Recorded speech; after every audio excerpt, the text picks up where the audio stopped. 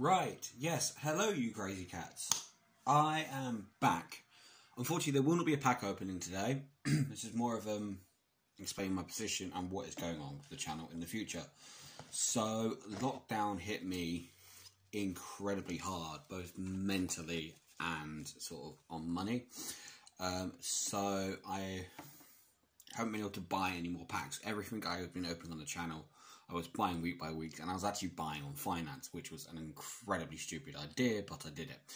Um, and now it's left me in a bit of a hole where I'm paying off all this finance. And I work in the restaurant industry as well, where this closing at 10 o'clock, as much as people say it's helpful and all that, it is destroying business. So this video is me saying that I'm actually going to start up an eBay account and I am will have the link in below.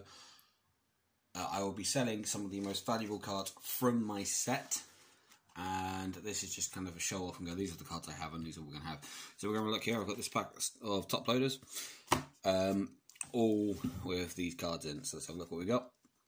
We've got my Shiny Legends Eevee. The Evolutions Charizard. No, that's a bit tape. The card is in perfect condition a Hitmonchan from base set 2, a Machamp from base set 2. It's a little bit beaten up in the corners, but not too bad at all. A Dark Machamp from the Rocket set. That's the non-holo version. Rocket Sneak Attack. That is the holographic version, number 16. Dark Alakazam. Yet again, it's the non-holographic version. A gold Scoop Up Net. Cinderace V. That is not the promo, that is from Rebel Clash number 178. Arcanine from the Detective Pikachu. The artwork on that is absolutely lovely. Uh, and then we've got a couple of random cards from booster packs and that I've opened. You've got Lurantis GX.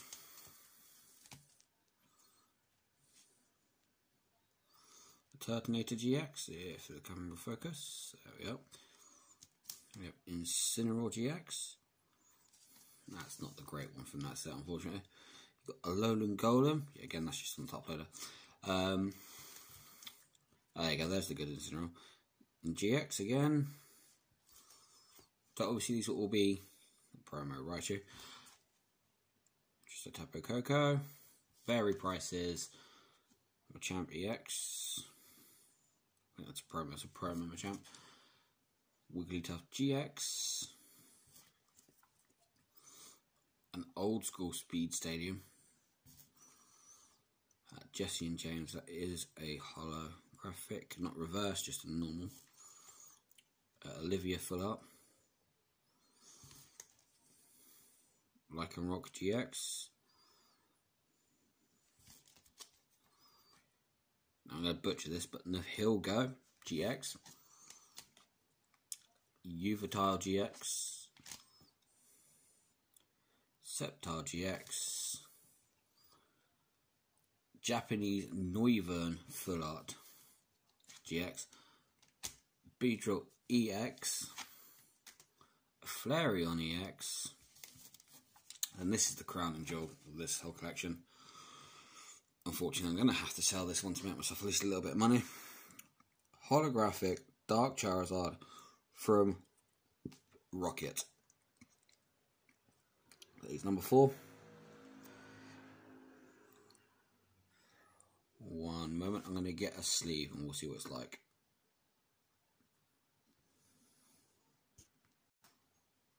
Right, so I've removed it from the top loader.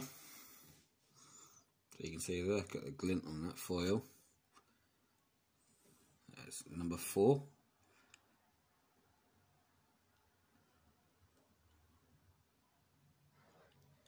It's completely real.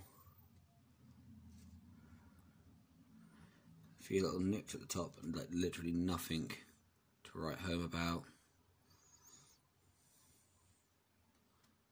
What a wonderful, wonderful card. It'll be a shame to lose it. Uh, there will be other cards, obviously, going up. That was the majority of my Pokemon collection, the ones that I really wanted to sell if I really needed to, I do have a, back of this folder. I have Naron Complete Team Rocket set. I could sell most of that, hence where all the rocket cards have come from. Um, and I'll be giving, trying to get a price point on these. Uh, Dragon Ball Super cards.